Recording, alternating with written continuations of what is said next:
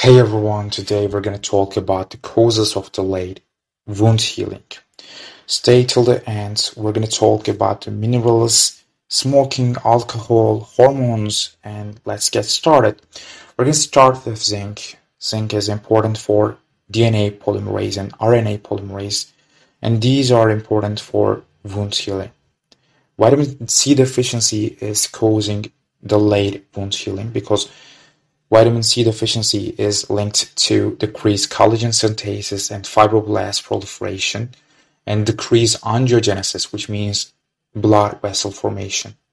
And these factors are causing delayed wound healing. Sufficient arginine levels are important because they are needed to support collagen deposition, angiogenesis, and wound contraction. Arginine improves immune function and stimulates wound healing in healthy and ill individuals.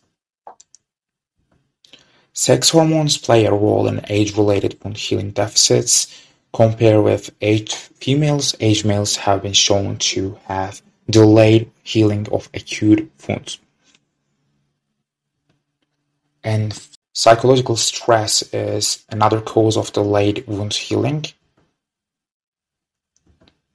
We have alcohol. Exposure to alcohol impairs wound healing and increases the incidence of infection.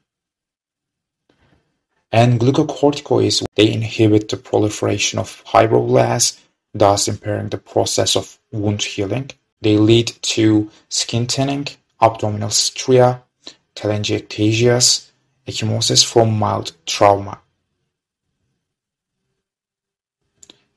Lastly, we have infection, most commonly due to Staph aureus. Infection of wound triggers the body's immune response, causing inflammation and tissue damage as well as slowing the healing process. And these are the most common factors that are causing delayed wound healing. If you liked it, consider liking, pushing the notification button, and see you later.